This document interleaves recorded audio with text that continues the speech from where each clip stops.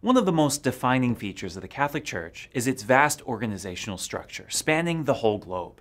No matter where you go in the world, the same readings and prayers will be celebrated at Mass, the same dogmas taught by the bishops. A statement that is 99% true. There are different rites and local customs within the church, but let's not go down that road for right now. Because of this near uniformity of liturgy and theology, it can be tempting sometimes to think that there is but one way to approach God and the world from within the church.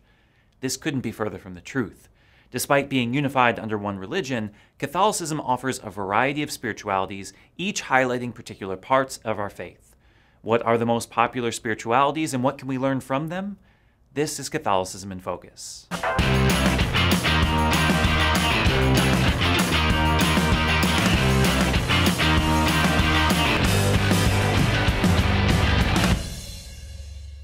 We begin our survey at the top with the purest and simplest of all spiritualities, Franciscanism. A statement that is at the same time dripping with bias and actually an apt description. The opening line of the Rule of St. Francis says it all. The rule in life of the Lesser Brothers is this to observe the holy gospel of our Lord Jesus Christ. While there are 12 chapters to the rule, it is widely held that this line was all that St. Francis wanted to humbly and simply live as Christ did in the Gospels. For Franciscans, it's all about imitating Christ's earthly life and mission. From the humility of his birth to his care for the poor, his preaching of the reign of God to his passion on the cross, St. Francis was intent on doing exactly as Christ did. For this reason, Franciscans emphasize ministry with the poor, preaching repentance, and joyfully sharing God's love while living simply, not seeking to be in charge or to have control. This is typified in the simplicity of the habit just a plain tunic with a rope tied around it and sandals. Not flashy, not ornate. It's a habit of penance meant for serving others. Of all the spiritualities of the church, it is probably the earthiest, focusing on the love of God through creation, living simply, welcoming the lost and outcast, and finding joy in it all. Besides St. Francis's own writings, of which I personally recommend the Admonitions, you can read the works of St. Clare, St. Bonaventure, Blessed John Duns Scotus, and St. Bernardine of Siena, or for more modern writers, Thea Bowman, Ilia Delio, Daniel Horan, and Richard Rohr. Next up, we look to the Jesuits, or as I like to say, Franciscans with better organizational skills. If you want a charism, be a Franciscan. If you want order in your life, be a Jesuit. The reason for this is because Ignatian spirituality, founded by St. Ignatius of Loyola, is what you get when you cross the Franciscan charism with the regiments of a military man. There are familiar elements of humility before the greater glory of God, finding God in all things, and contemplation in action, but there are also some very important innovations as well, like a succinct and codified method of discernment called the spiritual exercises. St. Ignatius compiled meditations, prayers, and contemplative practices into an organized program, usually done as a part of a 30 day retreat. Within this, a call and response approach is developed, in which the adherent is attentive to the movement of God in the present and joins this with a decisive, active response offering both spiritual and psychological wisdom for decision making. All of this, one can probably see, is particularly practical in thinking, something often caricatured in Jesuit jokes. As a people deeply committed to mission and the work of social justice, earthly, time sensitive tasks, Jesuits tend to be the most adaptable and resourceful in their life and ethics. Pioneers in modern casuistry, they employ a process of treating every situation on a case by case basis rather than applying general rules to everything. Because of this, their theology can be all over the map, including people like St. Peter Claver, St. Francis Xavier, Karl Rahner, Pierre Teilhard de Chardin, Avery Dulles, James Martin, and Gregory Boyle. Quite the cast of characters, if you ask me. Moving to what some might say is the complete opposite end of the spectrum, we look now to Dominicans, an order founded at the same time as the Franciscans and representing the sort of yin to our yang. If Franciscans are the heart, passionate, experiential imitators of Christ's humility, Dominicans are the head, profound, precise logicians of the mystery of God. While both are known for their preaching, the nature and concept of their mission is clearly distinct. While the Franciscans were simple preachers of repentance, going mainly to fellow Christians in the city squares, the Dominicans preached to the heretics of the Middle Ages, combating heresy with orthodoxy and wit. It's because of this that study is so important to Dominicans, possibly even its most essential feature. More monastic than Franciscans and Jesuits, Dominicans spend much of their day in either prayer or study, contemplating the Word of God first and foremost. Naturally, then, Dominicans often find themselves in teaching positions, working in schools and parishes, unveiling the great truths of God. Thomas Aquinas is obviously the star thinker of the Dominicans, but they've also produced people like St. Catherine of Siena, St. Rose of Lima, Francisco de Vitoria, Edward Schillebeeckx, and to many people's surprise, Gustavo Gutierrez. Plot twist! Moving now to the contemplative side of things, we look to the Benedictines, the OG of religious life in the West. Whereas the Franciscans and Dominicans may look like monks to the general public, Benedictines are in fact monks, adherents of the monastic life.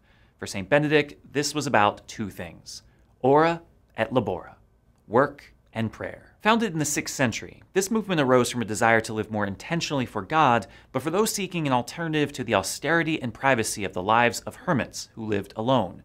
Benedict believed that community was an essential aspect to spiritual growth and that one needed a strong spiritual guide. Thus, Benedictine monasteries are at the same time places of strict order, with a regimented and stable life of contemplation under the obedience of an abbot, and centers for hospitality and shared growth.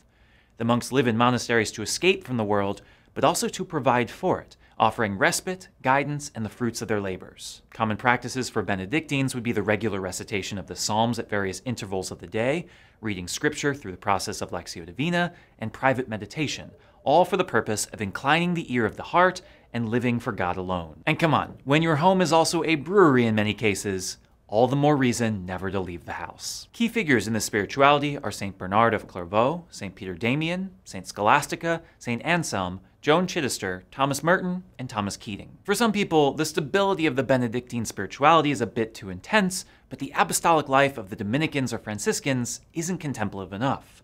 For them, there's Carmelite spirituality. By far the most difficult to categorize, the Carmelites don't have a founder like the other orders, but developed over many years as hermits and mystics began to establish themselves on Mount Carmel, the mountain traditionally associated with Elijah. While there is indeed study for Carmelites, it's primarily a spirituality of the heart, fueled by a desire and hunger for God fulfilled by contemplative prayer. Like Benedictines, the individual cell is critically important for silence and personal prayer, developing a pure heart and stout conscience that is completely in allegiance to God.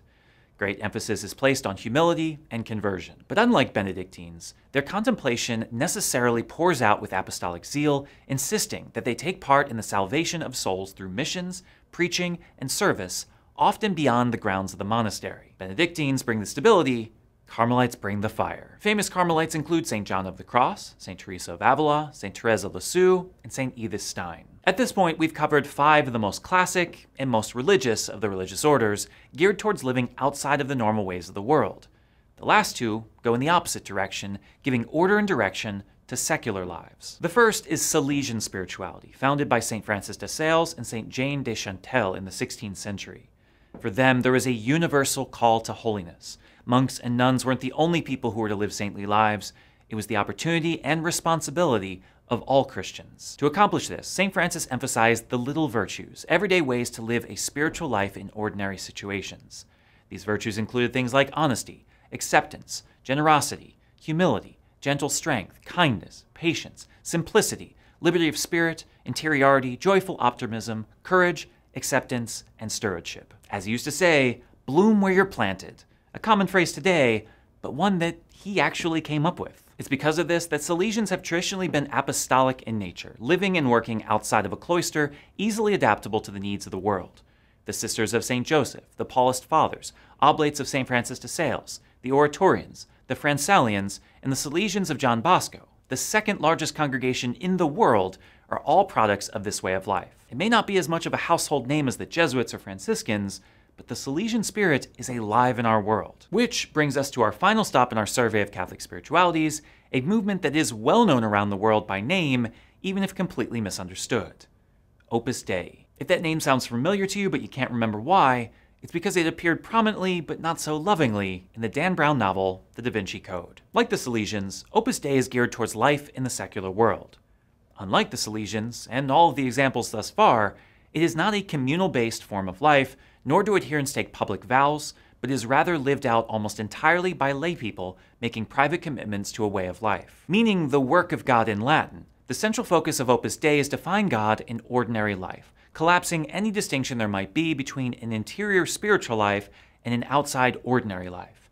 To be truly holy, there must be a unity of life. Opus Dei is known for its commitment to regular prayer, strict fasts, and the mortification of the flesh, acts of penance meant to sanctify and bring order to the ordinary encounters of work, family, and society. Because of the intensity of this life, adherents are recommended to have a spiritual director and to meet regularly for meetings. You never really want to take on strict fast and mortification without a buddy. Too easy to go too far. And there you have it seven of the most popular spiritualities of the Catholic Church. While all of them share in the love of Christ and the desire to live a holy life, it's clear that there are many ways to go about it and that no life is a perfect fit for everyone. And that's sort of the beauty of it. It doesn't have to be. Some people are hearts, others are heads. Some are missionaries, others are more contemplative. Some want to step away from the world, others want to find a way to live more fully in it. In the church, there is something for everyone, and everyone can learn something from each of its many spiritualities.